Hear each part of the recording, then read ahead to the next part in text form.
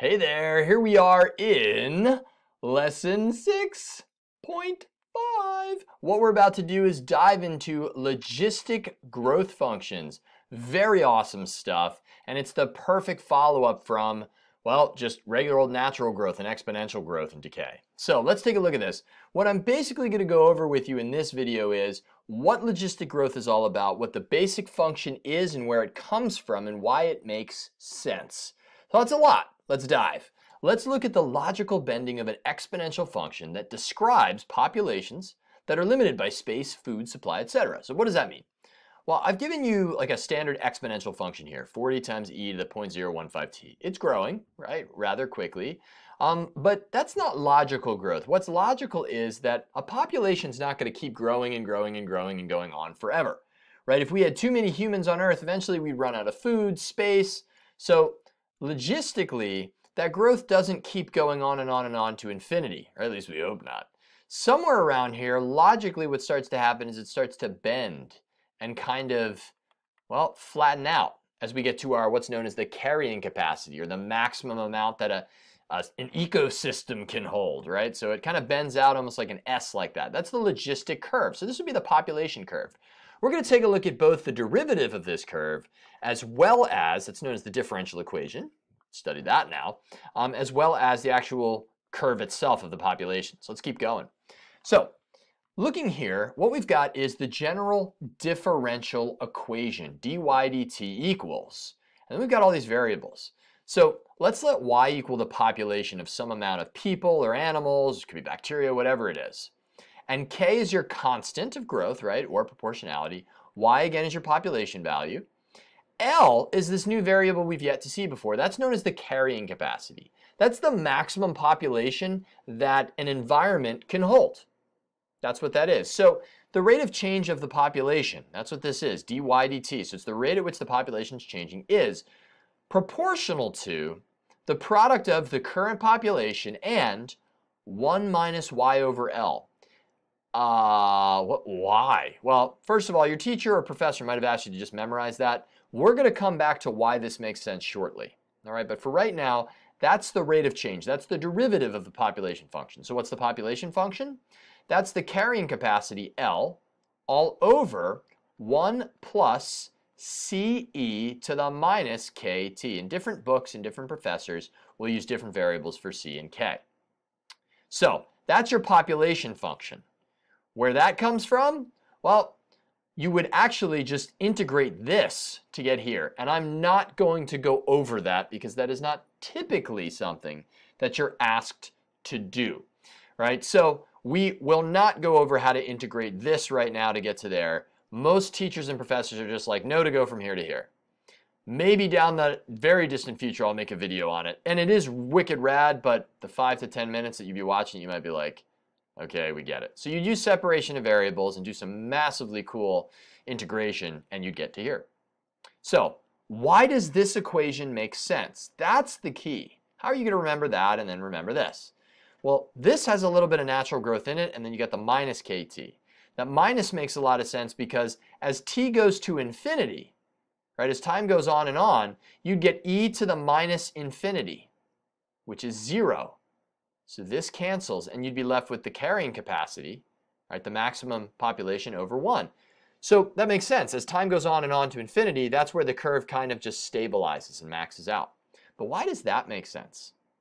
Well, if you take a look at this, and I've spelled equation wrong here, equaton, that's great. So looking at this, this is your law of natural growth, k times y. This, hmm, Y over L would be the current population over the maximum population we can have. So that's the percent that we have full. Let's say you have 20 people out of a maximum of 40, or 20 people out of a maximum of 100. That means 20% of your environment is now filled. 1 minus 20% gives you 80%. So this actually represents the percent of the space that's unfilled. And now this makes sense. You've got your normal growth factor, but limited by the space that's filled. So the higher the percent that is filled, the bigger this number is going to be, but the lower this number is going to be. So it kind of balances out.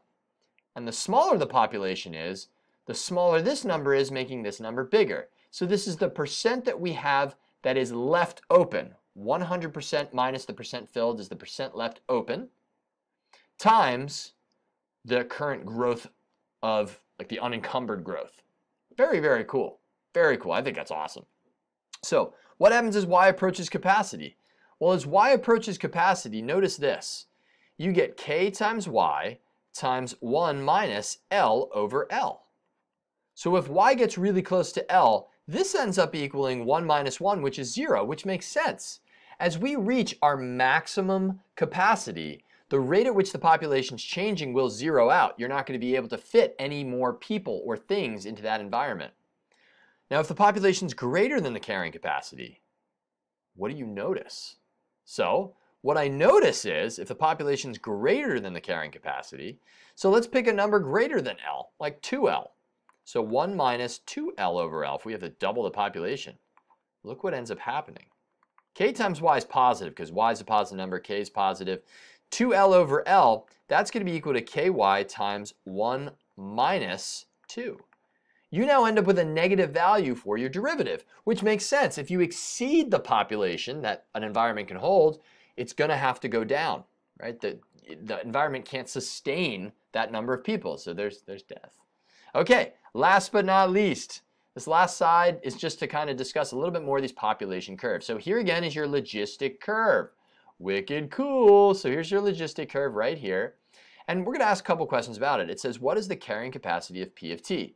Now, looking at the function, that's in the spot of L. So the carrying capacity is 10, right? That's the L spot right there. You could also look at this and say, well, the maximum value is going to flatten out, have a horizontal asymptote at P of t equals 10. So 10 is our answer. Next question says, find the limit as t goes to infinity of P of t. Well, looking at the graph, as t goes to infinity, we have a horizontal asymptote of 10. So that question is the same as asking what's the carrying capacity. Now I do want to take a moment to look at the function as well. This. We'd have the limit as t goes to infinity of 10 all over 1 plus 2e to the minus 0.5t. Now this essentially is equal to 10 over 1 plus 2e to the negative 0.5 times infinity, if you could plug in infinity. A negative number times infinity is negative infinity. So we get 10 over 1 plus 2e to the negative infinity. e to the negative huge is 1 over huge, right? This, e to the negative infinity, is the same as 1 over, because the negative exponent, e to the infinity. That's huge. 1 over enormous is 0. So all of that is 0. 10 over 1 plus 0 is 10, which makes sense that as we go to infinity, the carrying capacity is that maximum value, and kind of reminds you of why this function makes sense. Awesome, right? I know. Okay, based on the graph, estimate the value of P of t when it is increasing the fastest. So we're not saying just when is it increasing, it's increasing everywhere. When is the tangent line the most? So it's an important conclusion. We're going to look at that uh, certainly in later problems too. So if we look at this, that happens somewhere, I don't know, roughly around here. If you look at your tangent lines, they're still getting steeper and steeper and steeper until they get very steep there, then they get a little bit less steep as we go on. So that is where a tangent line is the steepest. What's the population? It's half of the carrying capacity. And that makes a ton of sense. The reason why the population growth will be the most, so the rate of change will be greatest, the point of inflection, in other words, will occur when we are at half the carrying capacity. And when you're doing this on the AB or, or just the BC exam rather, because it's not tested on AB, you don't have to justify that. So if you're ever asked when or what's the population when our carrying capacity, sorry, when the population's increasing the most, you just say, well, it happens at half the carrying capacity. You don't have to justify it. But it makes sense because at half the carrying capacity, you have a pretty decent sized population. This is at 50%, so it's neither big nor small. So this is pretty large. That's right in the middle yeah, dydt is going to be at its most. And that's it. All right, peeps, I will see you in the next video. That was a nice little overview. We're going to use all of that to solve a problem. It's very typical, uh, and we're going to get our calculators ready for sure. I'll see you there. Peace.